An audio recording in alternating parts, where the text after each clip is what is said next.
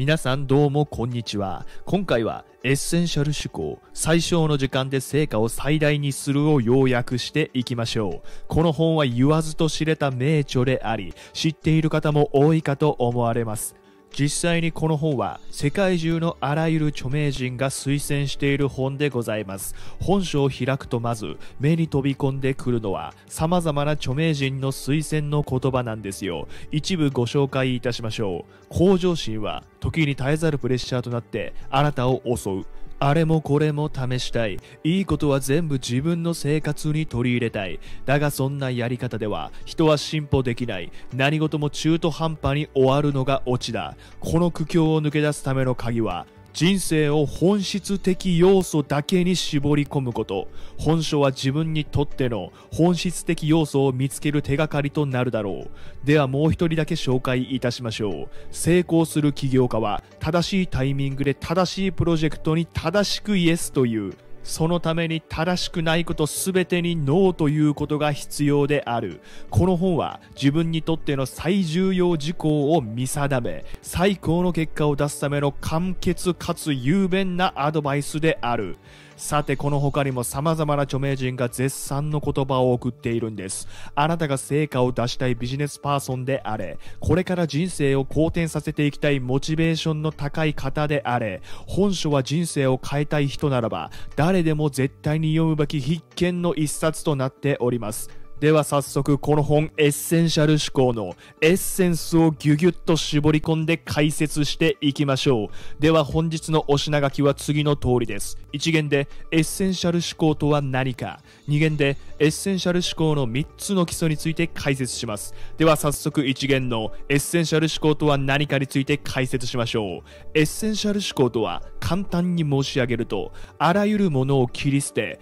本当に重要なことだけに集中するという考え方でございます。もっと簡単に言うと、本当に重要なことだけしかやらないと固く決意することでございますよ。何もかもをやらなくてはという考え方をやめて、ほとんどのことを断るんです。ノーと言うんです。そうすることで初めて本当に重要な仕事や物事をやり遂げることが可能になるんですよ。ここで皆様どうかもう一度自分の生活を振り返ってみてください。よく考えずに仕事を受けてしまってなんで俺はこんなことやってるんだろうと不安に思うことはないですか？相手の機嫌を損ねないためだけに遊ぶ予定や飲み会の予定を入れてませんか？イエスということに慣れすぎて思考停止していませんか？また忙しすぎて自分がすり減っていると感じることはないでしょうか。働きすぎなのに成果が出ていない。どうでもいい作業に追われて仕事ができないと感じたことはないでしょうか。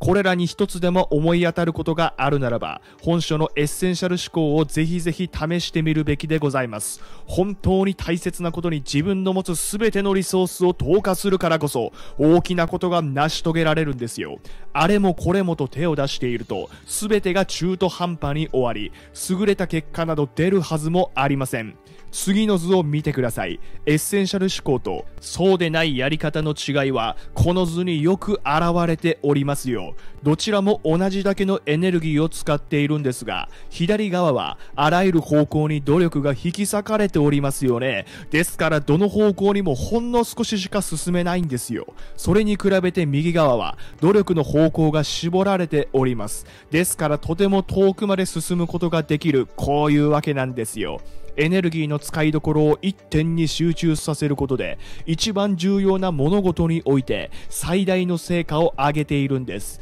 そしてエッセンシャル思考は自分の選択を自分の手に取り戻すための方法でもあるんですよ。僕らは毎日ごちゃごちゃと忙しいですよね。ですからエッセンシャル思考を身につけて自分で物事に優先順位を決めなければ他人の言いなりになってしまうんですよ。上司から仕事が与えられたり、PTA の会議に出席しろと言われたり、ぼやぼや優先順位を決めずに生きていると、他の人がいろんな余計な仕事を私たちに持ち込んでくるんですよ。その結果自分の人生は他人の言いなりになってしまうんです。例えばこの他人の言いなりの人生になるという分かりやすい例に、優秀な人ほど成功のパラドックスに陥りやすいという例があります。この成功のパラドックスには4つの段階があるんですよ。第1段階、目標をしっかりと見定め、成功へと一直線に進んでいく。第2段階、成功した結果、頼れる人という評判を得る。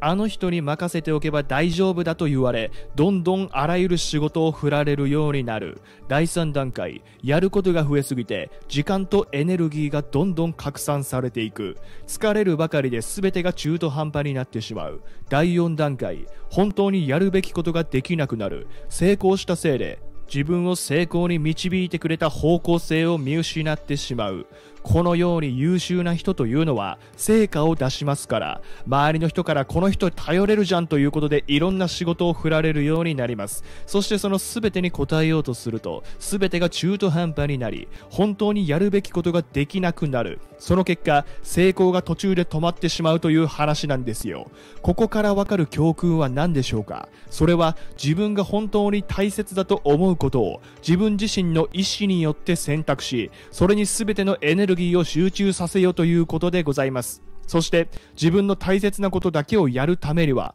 不要なものを徹底的に排除していくことが大切です。無意味な雑用を断るだけじゃなくて時にはですよ魅力的なチャンスを切り捨てることも必要になります。やるべきことを減らし人生をシンプルにして本当に重要なことにだけ集中するんです。ちょっと具体例で考えてみましょうか。エッセンシャル思考を実践するということはクローゼットをちゃんと片付けるということに似ているんですよ。クローゼットを片付けないで放っておくとどうなるか想像してください。着たい服がすぐに見つかる状態でしょうか。いやそんなわけないですよね。普段から片付けをしていないとクローゼットはぐちゃぐちゃ。着ない服でパンパンに膨れ上がってしまいます。クローゼットを整理する方法を確立しない限りたとえ全部服を捨てたところでまた同じことの繰り返しでございますよ。何が必要で何が不要なのか自分の頭で判断できないのでなくてはならない服をうっかり捨ててしまったり二度と着ない服が溜まっていたりするんです。そして皆さん人生も仕事のクローゼットと同じなんですよ。必要なものといらないものを区別できなければどうでもいいことで自分の人生は埋め尽くされてしまいます。そして捨てる仕組みを作らない限りやることは際限なく膨れ上がってしまうんですよ。ですからクローゼットを整理するように自分の人生をしっかりと整理し本当に大切なことにエネルギーを向ける仕組みを作ることが本書の目的になってきます。ここまででエッセンシャル思考とは何なのかそしてエッセンシャル思考が極めて大事であるということを理解してもらえたと思います。では次2限でエッセンシャル思考の基礎となる3つの考え方をご紹介いたしましょう。その前に1限をまとめておきましょう。エッセンシャル思考とは簡単に言うとあらゆるものを切り捨て本当に重要なことだけに集中するという考え方である。クローゼットを整理するように自分の人生においても必要なことと必要でないことを見極め必要でないことを切り捨て必要なことだけに全てのエネルギーを投じなければならない。では次2限のエッセンシャル思考の3つの基礎に参りましょうか。さて1限でエッセンシャル思考とは何かをしっかり理解してもらいました。2限ではそのエッセンシャル思考の3つの基礎を紹介いたします。エッセンシャル思考を身につけるには次の3つの基本を理解することが重要なんですよ。エッセンシャル思考の3つの基礎。1選択。2ノイズ。3トレードオフ。順番にサクッと解説していきましょう。まず1つ目の選択についてですがまずエッセンシャル思考の基礎として選択を身につけることが重要でございます。ここで言いたいのは選択すなわち選ぶ力を取り戻してほしいということなんですよ。先ほども申し上げた通り自分で優先順位を決めて物事を選択しない限り周りからどうでもいいことばかりが降ってきてあなたの人生は他人のために生きることになってしまいます。ここでね、いや、選択しろと言ったって、俺に与えられてる選択肢は極めて少ないんだよという方いらっしゃるかと思います。確かに選択肢というものは無限に存在せず人によっては限られているかもしれません。しかし選択肢の中から何を選ぶかということはいつだって自分次第なんですよ。すなわち選ぶ能力は誰にも奪えないんです。しかし今の世の中どうでしょうか？この選ぶ能力を本人が手放してしまっている人が多いと思いますよね。他人に言われた仕事をこなし他人から与えられた予定で自分の時間を生きている人が多い。しかしエッセンシャル思考を身につける人は選ぶという行為に常に自覚的でなくてはなりません。他人に自分の人生を決められてしまわないように選ぶ権利を手放してはいけません。自分で物事を選択する。選択する権利を手放さないということをまず皆様に選択していただきたいのです。では次2つ目のノイズについて解説しましょう。さて先ほど自分で選択する権利を持つのが超重要であると理解してもらった上で次に押さえておかなければならないのは世の中の大抵のことはノイズであるということでございますよ。世の中の大抵のことにはほとんど価値がないんだと認識することでございます。世の中には一見すると重要そうに見える物事で溢れておりますがよくよく吟味してみると大抵そういうものはゴミくずなんですよ。皆様はパレードの法則というものを聞いたことがあるでしょうか？これは別名80対20の法則と言われ成果の80%は20%の努力によるものだという考え方なんですよ。私たちは何かを成し遂げたい時に努力をする努力をすると言いますが努力にも効率の良いものと悪いものがあるんですよ。その効率の良い努力に全てのエネルギーを集中させようというのがエッセンシャル思考になるわけですがこの時に知っておかなければならないのは大抵の物事は価値がなくごくごく少数の物事に莫大な価値があるということでございます。つまり世の中の大抵のことはノイズであり本当に重要なことなんて少ししかないということなんですよ。そしてそのノイズをどんどん切り捨てることが必要になってくるんです。そのためにまずここで世の中の大抵なことは価値がないとしっかり認識しましょう。あなたのところに舞い込んでくる美味しそうな話も一見素晴らしそうに見えるチャンスも大抵はゴミくずなんです。そのことを理解しないとエッセンシャル思考を身につけるためにノイズを切り捨てるということができません。ですからまずしっかりとこれを認識してください。では次3つ目のトレードオフに参りましょうか。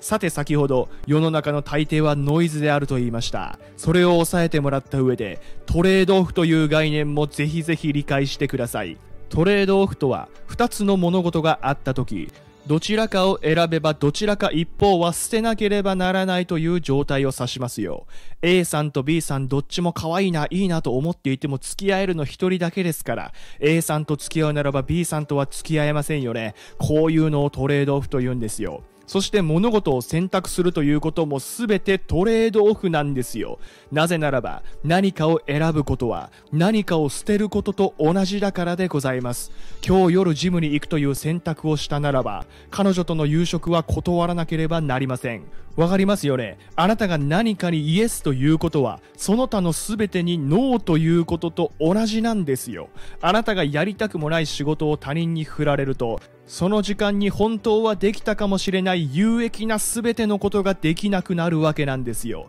ですから何か物事を選択しようと思った時は常にトレードオフを意識してください。こっちを選べばこっちはできない。だから本当にどっちがやりたいのか、どっちが本当に自分にとって必要なのかということを常に考えるんです。ここでトレードオフってめちゃくちゃ難しくないかと考えたそこのあなた正解でございます。確かにトレードオフを考えたくない気持ちはわかるんですよ。そもそもトレードオフが起こるのはどちらも捨てがたいような状況だからですよ。高い給料を取るのか、長い休暇を取るのか、急ぎのメールに返信するのか、大事な会議に出席するのか、自宅で勉強するのか、はたまた彼女とデートをするのか、うん、どちらも際どい、どちらにもイエスと言いたくなりますよね。しかしそれは不可能だとちゃんと分かってください。どちらかは切り捨てなければならない。トレードオフには痛みが伴いますが、実は絶好のチャンスであるとポジティブに捉えることもできるんです。選択肢を比較検討する過程で、自分の本当の望みを明確に知ることができるからですよ。どっちもできるよどっちもやりたいよなんて両方中途半端にやっていてはどっちが自分にとって本当に大事なものかがわからないままなんですよ。A さんと B さんどっちと付き合うかどっちともデートしたいなみたいな曖昧な状況では自分が本当にどっちの女性が好きなのかわからないんですよ。A さん B さんどちらか一方しかないと覚悟を決めて真剣に A さんと B さんのいいところを比べるから A さんと B さんのことについてめちゃくちゃ考えるから自分が本当に好きな相手がわかるんですよ。皆様このトレードオフという考え方は常に意識していただきたい。あれもこれもやろうと欲張ってしまうと全てが中途半端になり凡人並みの結果に終わってしまうんですよ。何かをやるということは何かをやらないということ。魅力的な話や友達との飲み会に行く時にこれに行ったら何を失うのかを常に考えて自分にとって重要なものを選択するようにしてください。では2限の内容をまとめましょう。エッセンシャル思考の3つの基礎は選択ノイズトレードオフである。さてここまででエッセンシャル思考が何なのか。そしてエッセンシャル思考の3つの基礎ということを押さえていただきました。ではいよいよエッセンシャル思考を身につける具体的なテクニックについて解説していきたいところなんですが、すでに動画が長くなってしまいました。このまま続けると30分超えちゃいます。皆さんも見づらいでしょうから、ここが区切りがいいので一旦区切ることにいたします。エッセンシャル思考を身につける具体的なテクニックについては、パート2の動画を作って詳しく解説したいと思います。とはいえ、全体像を先に掴んでもらった方が理解が深まるかと思うので、ここでパート2の流れだけを簡単に説明しておきましょう。今回の動画ではエッセンシャル思考は何かを学びましたエッセンシャル思考とは必要なものと必要でないものを見極めて必要でないものを切り捨てて重要なことにエネルギーを注ぐことでしたですからエッセンシャル思考を身につけるためにはまず必要なものと必要でないものを見分ける技術。そして必要でないものを捨てる技術。そしてこのエッセンシャル思考を維持するための仕組み化の技術が必要なんですよ。この3つの技術を身につけていただければ、あなたはエッセンシャル思考を身につけたことになる。すなわち、本書の内容を完璧にマスターしたことになるんですよ。もう一度言いましょう。エッセンシャル思考を身につけるためには次の3つの技術が必要である。1、見極める技術。2、捨てる技術。3、仕組み化の技術。ではでは次のパート2の動画でこの3つの技術について徹底的に深掘りして解説し、皆様に本書の内容を完璧に理解してもらおうと思います。本日はとりあえず、エッセンシャル思考とは何か、エッセンシャル思考の3つの基礎ということを押さえていただければ十分見た甲斐があると思われます。では本日は以上になります。この動画がためになったという方は、私のやる気アップとさらなる動画のクオリティアップにつながるので、高評価ボタンとチャンネル登録どうぞよろしくお願い申し上げます。ではこのすぐ